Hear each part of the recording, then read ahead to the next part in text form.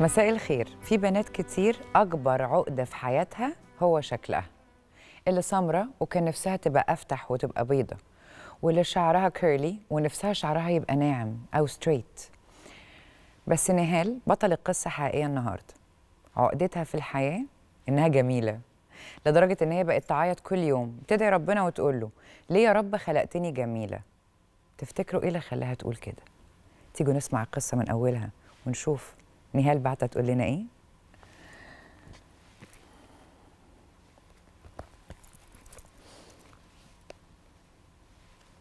اسمي نهال مخلصة تعليم حاليا وعندي 21 سنة ولسه ما نزلت الشغل. من وأنا عندي 15 سنة يا سالي كان بيتقدم لي عرسان كتير عشان معجبين بشكلي والتزامي. بس أنا كنت برفض عشان سني صغير ومش مستعجلة على الموضوع ده. كنت دايما بقول لنفسي اللي جاي يتقدم عشان شايف فيا. بنت جميلة مسيره مع الوقت هيتعود على شكلي وعلى جمالي زي أي حاجة بتبقى حلوة وهي بعيد.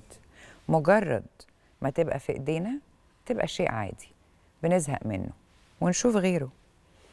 أهم حاجة اللي هيرتبط بيا يختار شخصيتي ودماغي وروحي لأن دول اللي مش بيتزهق منهم مهما عدت السنين.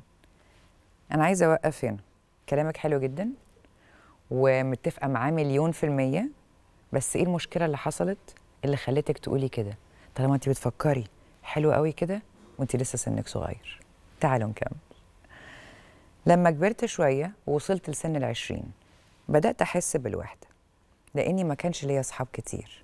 ساعتها بدأت أتمنى عريس يملى عليا حياتي يسمعني ويطبطب عليا ويكون جنبي وقت ما أحتاج له. وفعلا اتقدم لي شخص فيه كل الصفات اللي كنت بحلم بيها. من الآخر كده عجبتني دماغه وطريقة تفكيره وأسلوبه وقلت هو ده اللي بدور عليه. ووافقت وأنا مغمضة. سجدت لربنا وقلت له شكرا يا رب. بس بعد الخطوبة بدأت أشوف وش تاني خالص خلاني أعيش أسود سنة في حياتي وفي عمري كله. اكتشفت بعد الخطوبة إن الوش اللذيذ اللي شفته في الأول كان مزيف. وراه حد تاني. مهمل. ممكن يسيبني فترة طويلة من غير ما يتصل ولا يسأل عليا. وحجته دايما إنه مشغول. ومش فاضي. ومش بيغير عليا زي أي راجل. المفروض يغير على خطيبته. لدرجة إني كنت ساعات بنزل الساعة 12 بالليل عشان يغير أو يعترض. وهو عادي خالص. كانت كل مشاكلي معاه بسبب إن أنا مش لاقيه جنبي. طول الوقت كان دايما مستعد يسمع لكل الناس. ويساعد ويخدم الغريب إلا أنا وفي أوقات فراغه يشوف أي حجه يبعد عني بيها بدل ما ينتهزها فرصة ويكلمني ويقرب مني أكتر. لو حصلت له مشكلة صغيرة خالص أو حصلت لحد من عنده يتحجج يفضل أيام ما يكلمنيش. لما عرفت إن هو كان مرتبط بواحدة قبلي وما حصلش نصيب سألته هو أنت ارتبطت بيا ليه؟ قال لي عشان شكلك وأخلاقك ومع الوقت بدأت أحس إني كنت بالنسبة له سد خانة. اللي هو بنت شكلها جميل عندها أخلاق عشان يضمن إنه خد عروسة مثالية بالنسبة لطموحه طبعا.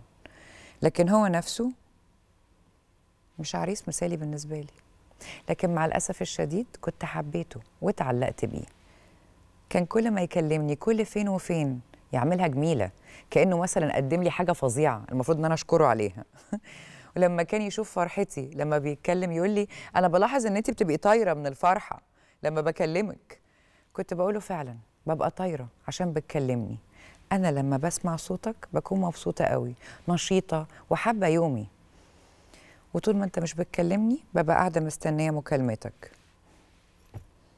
وكل شوية ببص على التليفون وادعي إنك تكلمني. رغم اعترافي الواضح والصريح عشان يحس ويتغير. ما كانش برضه بيتغير. كنت كل يوم بنام معيطة مستنية إن هو يكلمني. ولو شفت اتنين مخطوبين مع بعض قلبي كان بيوجعني وأحس إني مش مخطوبة. لما كنت بخرج مع أصحابي وألاقي كل واحدة خطيبها بيتصل بيها يطمن عليها كنت ببكي من غير ما أعرف صحابي أنا جوايا إيه. ودلوقتي والله بعيط وأنا بكتب لكم. تعرفي يا سالي لما كنت بحكي له حاجة مهمة مزعلاني ألاقيه نام وهو بيكلمني. أو يسرح في حاجة تانية خالص. لما اخلص كلامي ألاقيه مش موجود معايا أصلا. وكل ما أكلمه يقول لي معلش اصلي داخل الحمام معلش أصلي نازل تحت معلش حد بيتصل بيا على الارضي ولازم أرد. أو ينام على نفسه وهو بيكلمني. وده كله وأنا جاية على نفسي وصحتي لحد ما خسيت جامد. وشكلي بقى وحش.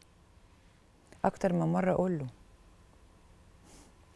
لو مش عايزني سيبني أنا بجد تعبت. ولو محرج من أهلي أنا هجيب الموضوع كله كأنه من عندي.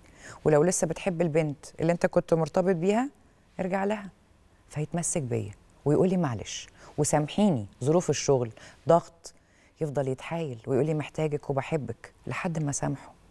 وأرجع في كلامي بدل ما أشيل ذنبه.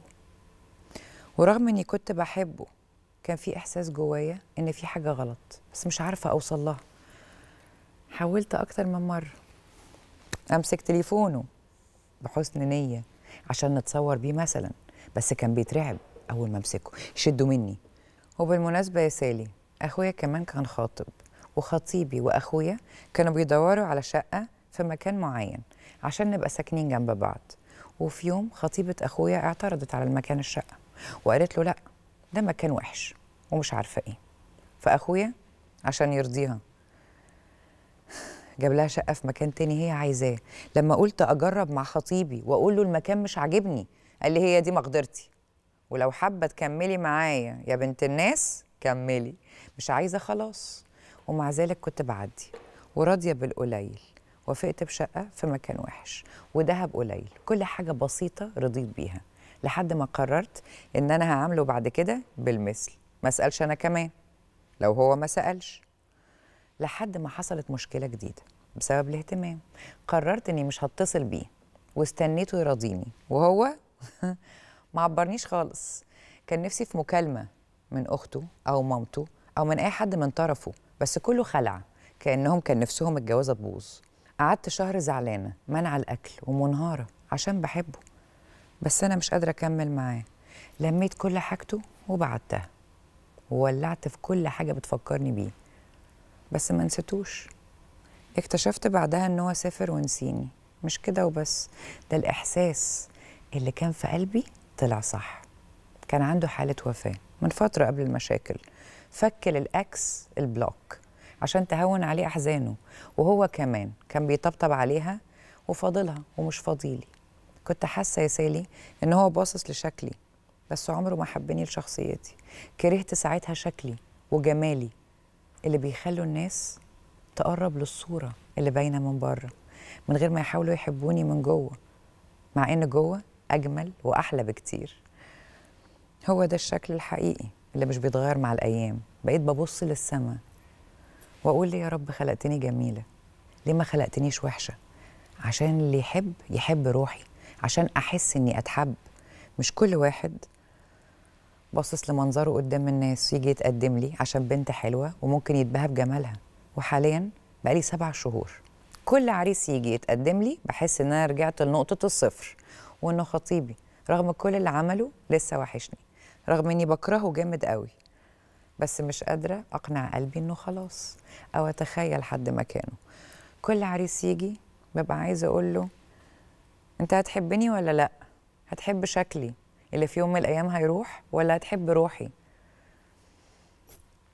بقيت عايشة في النص لا عارفة آخد خطوة جديدة ولا أرجع للي فات. وفي يوم بعت له ريكورد وأنا قلبي هيقف مش قادرة أتنفس جسمي بيترعش بصرخ بحاسبن عليه.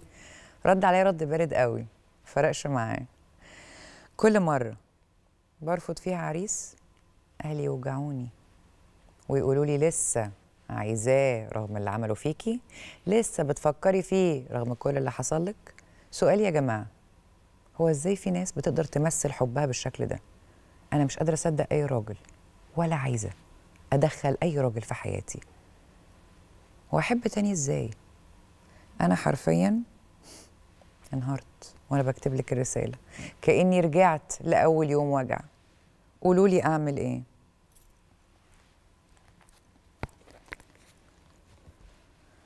لحد هنا خلصت رسالة نهال وعايزة أقول لك أنا متعاطفة معاكي جدا. كل حاجة كتبتيها مع إني ممكن أكون مختلفة في حاجات كتير بس أنا بتعاطف مع أي حد بيبعت لنا. وعمري ما بستهون بوجع حد. لازم نبقى حاسين بوجعه نحترم وجعه نحترم مشاعره وقراره إن هو قرر إن هو يفتح قلبه. دي مشكلة ناس كتير قوي على فكرة اللي هي بعتتها النهارده وأنتوا مش واخدين بالكم. ممكن يكون عندكم حد كده في البيت المراهقين آه بنتك كانت لسه مخطوبة لا قدر الله حصل انفصال. ده اللي بيحصل التوهان ده كله.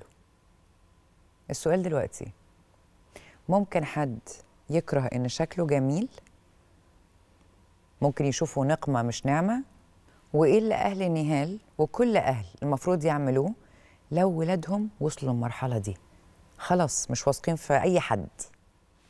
هتفضل ترفض؟ كل اللي بتقدمه طب لحد إمتى؟ هنفضل عايشين كده لحد إمتى؟ هنفضل نحن للي باعنا امم رغم كل اللي عملوا فينا طب وبعدين؟ وإزاي حد يقدر يحب حد ويكرهه في نفس الوقت؟ أسئلة كتير قوي صح؟ أسئلة كتير قوي في حكايتك يا نهال.